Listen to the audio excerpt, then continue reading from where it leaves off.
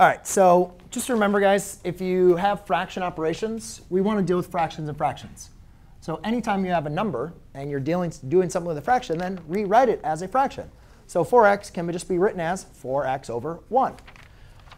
The easy, easy way to really understand the, um, the operation of division with fractions is just kind of a little trick that we are going to do this quite a bit. Um, but just an easy thing to remember, guys, is that you can multiplying by the reciprocal is the same thing as dividing by a fraction. So you, we, can, we can always rewrite division as a product. And that's what we're going to prefer to do. Same thing is we can always write subtraction as addition. We can write division as multiplication. So to rewrite a division problem as multiplication, we just take the reciprocal.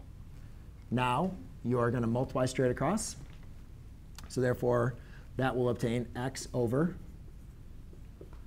20x.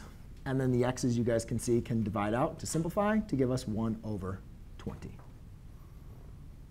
Yes? 5 divided by 2 is the same thing as 5 times 1 half. Right? Yeah? OK. Or 5 divided by 2 is the same thing as 5 times 1 half. Right? So just remember when you multiply, guys, you multiply straight across. Like you can see how that kind of works. So dividing is the same thing as multiplying by its reciprocal.